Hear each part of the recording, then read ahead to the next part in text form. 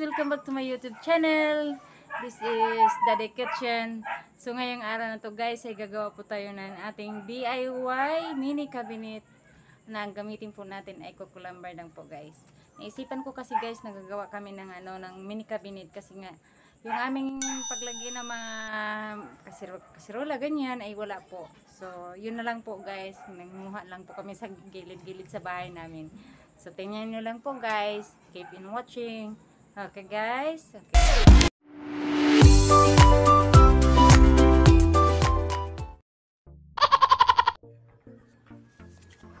Hi guys. Ito po gagawa po kami ng cabinet para paglagyan po ng aming mga kunti mo ay kunting gamit. Mukhang gwapo ng kabinita. Bali na lang. Pangit ani. Okay lang yan. Ah, yung aking furniture. Makalibre man lang tayo kahit konti. Shout out po sa furniture natin.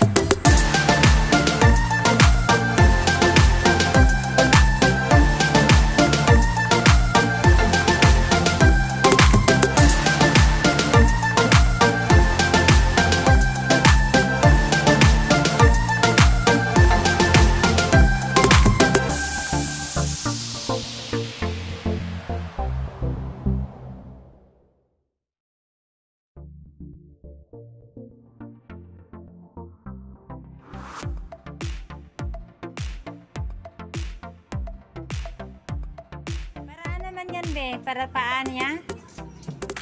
Be? Paanan niya? Anak. kani siyang paanan niya. Ah.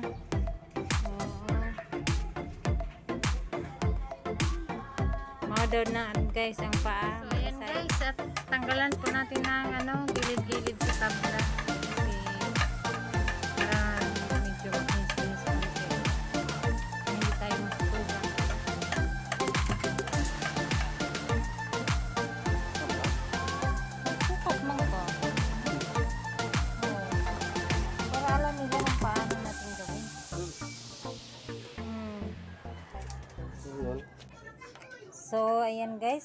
Kailangan talaga natin sukatin.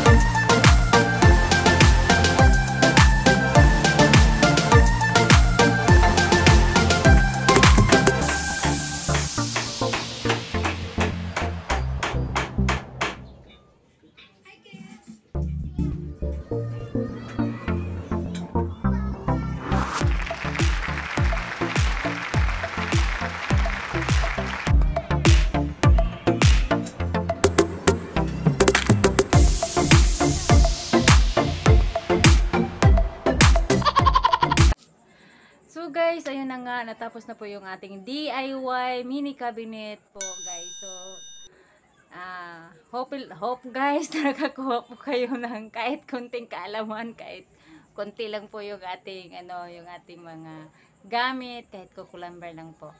So, nasa sa inyo lang po guys, kung gusto nyo gawin, sundin nyo, nasa sa inyo lang po yun guys. So, thank you for watching. Huwag nyo pong kalimutan mag-like, comments, at, at subscribe na din. At syempre guys, share nyo na rin. So, thank you. See you to the next videos. Bye-bye.